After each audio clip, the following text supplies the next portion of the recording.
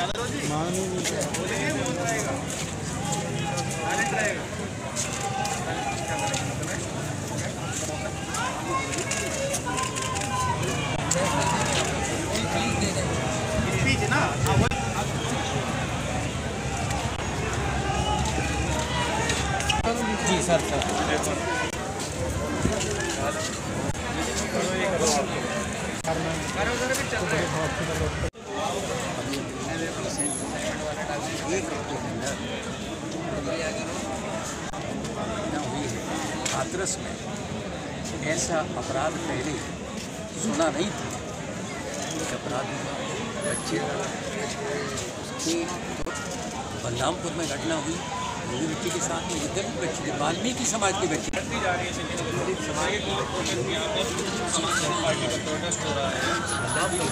महिलाओं के हाथ उठाने वाले में ऐसे अपराध बहुत ज़्यादा है। हालाँकि जो संख्या है, जो संख्या है, वो महिलाओं के समर्थन में इंसाफ दिलाने के लिए है। वहीं दूसरी तरफ़, अगर तस्वीरें हमने आपको दिखाई कि कई महिलाएँ यहाँ पर पहुँची हैं, अगर आप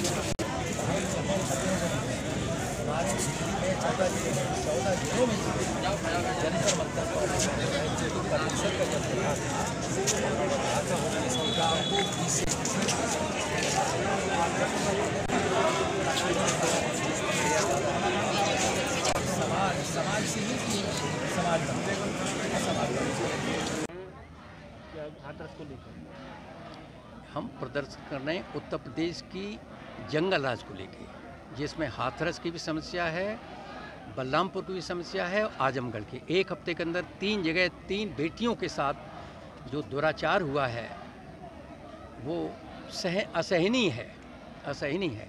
ये सरकार बिल्कुल हर तरफ़ से फेल है उत्तर प्रदेश की।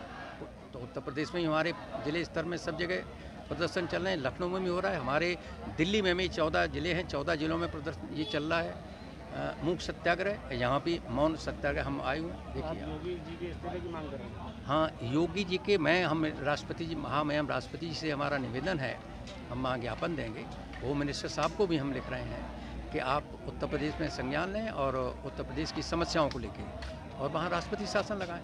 जंगल राज है उत्तर प्रदेश में। सुप्रीम कोर्ट दो बार विपरीत टिप्पणी कर चुका है कि उत्तर प्रदेश में जंगल राज जैसी स्थिति है और जंगल राज है आप देख रहे हैं। सामने है आपकी। जी बार बार प्रदर्शन होने के बाद भी उत्तर प्रदेश सरकार के कानों तक जू नहीं रेंग रही है।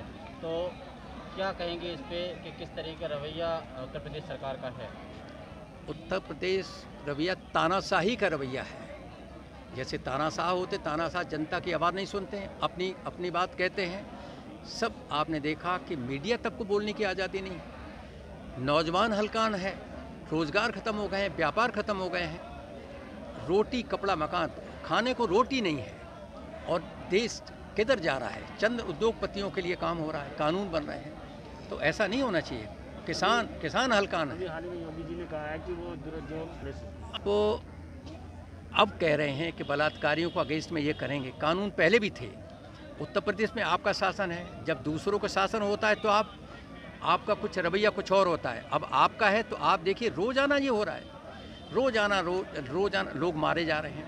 सरकारी तंत्र सर, शासन प्रशासन कुछ गुंडों को संरक्षण दिए हुए है, लोगों को मार रहे हैं। हाथरस के डीएम ने जो डी में क्या वीडियो वायरल हुआ कि सब गलत हो रहा है जाके?